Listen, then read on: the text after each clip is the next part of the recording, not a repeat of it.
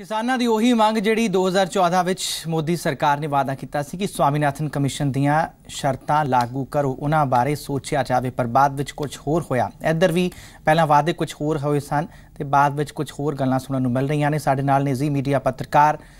ਪੁਨੀਤ ਪਰਿੰਜਾ, ਚੰਡੀਗੜ੍ਹ ਤੋਂ ਲਾਈਵ ਪੁਨੀਤ ਪਰਿੰਜਾ ਸਰਕਾਰ ਵੱਲੋਂ ਇਹ ਕਿਹਾ ਜਾ ਰਿਹਾ ਕਿ ਮੀਟਿੰਗ ਠੀਕ ਠਾਕ ਹੋਈ ਹੈ, ਸਭ ਕੁਝ ਸੈਟੀਸਫਾਈਡ ਸਭ ਨੂੰ ਕਰਨ ਦੀ ਕੋਸ਼ਿਸ਼ ਹੋਈ ਹੈ। ਪਰ ਕੀ ਇਹ ਕੋਸ਼ਿਸ਼ ਕਾਮਯਾਬ ਵੀ ਹੋਈ? ਕਿਉਂਕਿ ਕਿਸਾਨ ਜਿਹੜੇ ਨੇ ਸਵਾਲ ਚੁੱਕ ਰਹੇ ਨੇ ਕਿ ਵਿਧਾਨ ਸਭਾ ਵਿੱਚ ਕੁਝ ਸਵਾਮੀਨਾਥਨ ਰਿਪੋਰਟ ਬਾਰੇ ਸੋਚੋ ਤੇ ਨਾਲ ਦੀ ਨਾਲ ਪਹਿਲਾਂ ਜਿਹੜੀਆਂ ਗੱਲਾਂ ਕੀਤੀਆਂ ਗਈਆਂ ਸਨ, ਉਹਨਾਂ ਬਾਰੇ ਗੌਰ ਕਰੋ।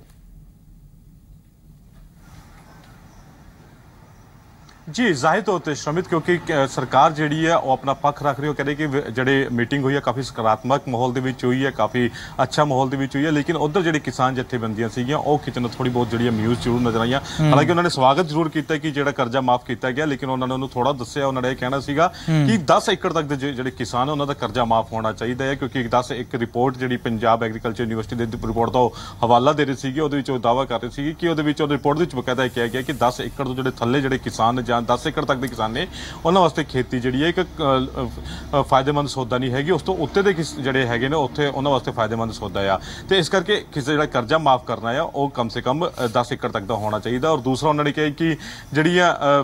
ਕਿਉਂਕਿ ਜ਼ਮੀਨੀ ਚ ਜਿਹੜਾ ਸਤਰ ਪਾਣੀ ਦਾ ਕਾਫੀ ਘਟਦਾ ਜਾ ਰਿਹਾ ਤੇ ਉਹਦੇ ਵੀ ਉਹਦੇ ਵਾਸਤੇ ਉਹਨਾਂ ਨੇ ਗੱਲ ਕੀਤੀ ਹੈ ਕਿ ਜਿਹੜਾ ਪਾਣੀ ਦਾ ਸਤਰ ਘਟ ਰਿਹਾ ਤੇ ਸਾਨੂੰ ਇਹ ਕਿਹਾ ਜਾ ਰਿਹਾ ਕਿ ਫਸਲਾਂ ਬਦਲ ਬਦਲ ਕੇ ਲਾਓ ਲੇਕਿਨ ਆਪਾਂ ਨੂੰ ਉਹਦੇ ਵਾਸਤੇ ਇੱਕ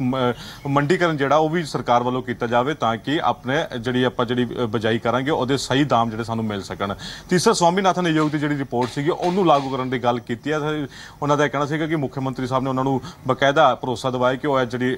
ਉਹਨਾਂ ਦੇ ਜ਼ਿਹਨ 'ਚ ਵੀ ਹੈ ਕਿ ਮੁੱਦਾ ਹੈਗਾ ਕਿ ਸਵਾਮੀਨਾਥਨ ਰਿਪੋਰਟ ਅਗਰ ਲਾਗੂ ਹੁੰਦੀ ਹੈ ਤੇ ਇਹਦੇ ਵਾਸਤੇ ਕਿਸਾਨਾਂ ਨੂੰ ਬਹੁਤ ਫਾਇਦਾ ਮਿਲੂਗਾ ਔਰ ਇਸ ਤੋਂ ਲੈ ਕੇ ਉਹ ਬਕਾਇਦਾ ਕੇਂਦਰ ਸਰਕਾਰ ਨਾਲ ਗੱਲਬਾਤ ਕਰਨਗੇ ਰਾਬਤਾ ਕਾਇਮ ਕਰਨਗੇ ਤਾਂ ਕਿ ਜਿਹੜੀ ਸਵਾਮੀਨਾਥਨ ਰਿਪੋਰਟ ਹੈ ਉਹਨੂੰ ਲਾਗੂ ਕੀਤਾ ਜਾ ਸਕੇ। ਤੇ ਕੁੱਲ ਮਿਲਾ ਕੇ ਅਗਰ ਇਸ ਮੀਟਿੰਗ ਦੀ ਆਪਾਂ ਗੱਲ ਕਰੀਏ ਤਾਂ ਅ, ਦੇਖਣ ਨੂੰ ਇਹ ਮਿਲਿਆ ਕਿ ਇੱਕ ਪਾਸੇ ਜਿੱਥੇ ਸਰਕਾਰ ਕਹਿ ਰਹੀ ਹੈ ਕਿ ਕਾਫੀ ਖੁਸ਼ਨੁਮਾ ਮਾਹੌਲ 'ਚ ਮੀਟਿੰਗ ਹੋਈ ਹੈ ਉਧਰ ਜਿਹੜੇ ਜਥੇਬੰਦੀਆਂ ਸੀਗੀਆਂ। ਹਾਲਾਂਕਿ ਥੋੜੀ ਮਾਯੂਸ ਜ਼ਰੂਰ ਸੀਗੀਆਂ ਲੇਕਿਨ ਇਸ ਗੱਲ ਤੋਂ ਵੀ ਬੜੀ ਖੁਸ਼ ਸੀਗੀਆਂ ਕਿ ਸਰਕਾਰ ਜਿਹੜੀ ਕਿ ਵਿਰੋਧੀ ਧਿਰਾਂ ਵੱਲੋਂ ਲਗਾਤਾਰ ਇੱਕ ਪ੍ਰਚਾਰ ਕੀਤਾ ਜਾ ਰਿਹਾ ਸੀਗਾ ਕਿ ਇਹ ਜਿਹੜਾ ਕਰਜ਼ਾ ਮਾਫ ਕੀਤਾ ਗਿਆ ਕਿਸਾਨਾਂ ਦੇ ਅੱਖਾਂ 'ਚ ਧੂਲ ਝੋਕਣ ਦੇ ਬਰਾਬਰ ਹੈ ਤੇ ਉਹ ਵੀ ਇੱਕ ਅਸ਼ਵਾਸਨ ਨਜ਼ਰ ਆਈ ਕਿ ਉਹਨਾਂ ਨੂੰ ਬਕਾਇਦਾ ਇੱਕ ਰਸਤਾ ਦੇਖਣ ਨੂੰ ਮਿਲਿਆ ਹੈ ਜਿਹਦੇ ਵਿੱਚ ਉਹਨਾਂ ਨੇ ਕਿਹਾ ਕਿ ਆਪਾਂ ਇਹਦੇ ਉੱਤੇ ਕੰਮ ਕਰ ਰਹੇ ਹਾਂ ਔਰ ਆਉਣ ਵਾਲੇ ਦਿਨਾਂ 'ਚ ਤੁਹਾਨੂੰ ਇਹਦੇ ਅੱਛੇ ਪਰਿਣਾਮ ਵੀ ਦੇਖਣ ਨੂੰ ਮਿਲਣਗੇ। ਜੀ। ਜੀ ਸ਼ਰਮਿਤ ਪਰ ਪੁਨੀਤ ਇੱਥੇ ਸਵਾਲ ਇਹ ਵੀ ਹੈ ਕਿ ਸਵਾਮੀਨਾਥਨ ਕਮਿਸ਼ਨ ਦੀ ਰਿਪੋਰਟ ਬਾਰੇ ਕਹਿ ਰਹੇ ਨੇ ਕਿ ਅਸੀਂ ਕੇਂਦਰ ਨਾਲ ਗੱਲ ਕਰਾਂਗੇ। ਕੇਂਦਰ ਵੱਲੋਂ ਤਾਂ ਪਹਿਲਾਂ ਹੀ ਕੋਰਟ ਵਿੱਚ ਆਖ ਦਿੱਤਾ ਗਿਆ ਹੈ ਕਿ ਜੀ ਇਹ ਸਾਡੇ ਬਸ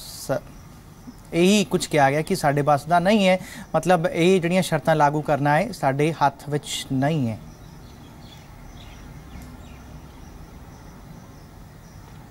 ਦੇਖੋ ਜ਼ਾਹਿਰ ਤੌਰ ਤੇ ਕਿਉਂਕਿ ਇੱਕ ਦੂਜੇ ਦੇ ਗੇਂਦ ਦੇ ਵਿੱਚ ਕਹਿ ਸਕਦੇ ਆਪਾਂ ਇੱਕ ਦੂਜੇ ਦੇ ਪਾਲੇ ਵਿੱਚ ਗੇਂਦ ਸੁੱਟੀ ਜਾ ਰਹੀ ਆਪਾਂ ਗੱਲ ਕਰ ਸਕਦੇ ਹਾਂ ਤੇ ਕਿਉਂਕਿ ਸਵਾਮੀਨਾਥਨ ਰਿਪੋਰਟ ਨੂੰ ਲੈ ਕੇ ਹਰ ਇੱਕ ਸਰਕਾਰ ਜੀ ਸਮਝ ਹੂੰ ਹੂੰ ਜਾਰੀ ਰੱਖੋ ਜਾਰੀ ਰੱਖੋ। ਜੀ ਜ਼ਾਹਿਰ ਤੌਰ ਤੇ ਕਿਉਂਕਿ ਇਹੀ ਵਜ੍ਹਾ ਹੈ ਕਿ ਲਗਾਤਾਰ ਕਿਉਂਕਿ ਇੱਕ ਦੂਜੇ ਦੇ ਪਾਲੇ ਦੇ ਵਿੱਚ ਗੇਂਦ ਸੁੱਟਣ ਦੀ ਇੱਕ ਤੇ